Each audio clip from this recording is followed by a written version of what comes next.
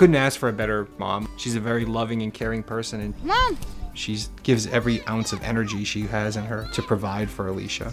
said one. Luisa was one of the first cases in the program where, you know, she came in, she was pregnant. A good job. Luisa is a very trusting person. She doesn't know whether someone's going to be a good person or a bad person. And the situation that with her before she came to live with us, she trusted someone that she shouldn't have.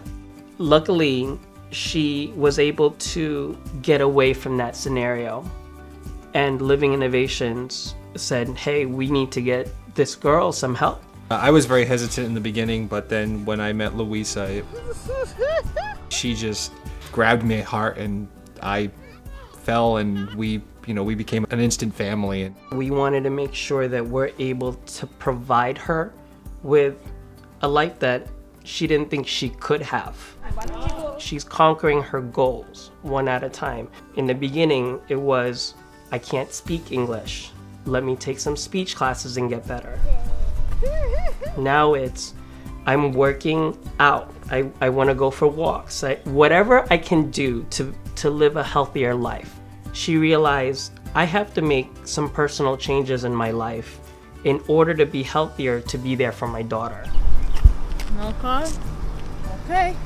I need it and have and exercise more. So I like it. I like it doing it because my daughter. So then I'm going up and then see my daughter. Some people are helping me, you know, and cares about me. Oh. she's found the confidence and she's doing an amazing job. I wouldn't change a thing, you know. It's it's definitely been a great experience. It's you know, as much as we help mentor Luis and Alicia, they've helped mentor us and make us better.